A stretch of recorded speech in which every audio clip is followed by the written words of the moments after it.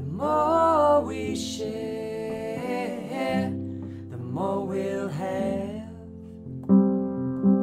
The more we care, the longer we'll last. The more you give it all away, you will always have enough because the more.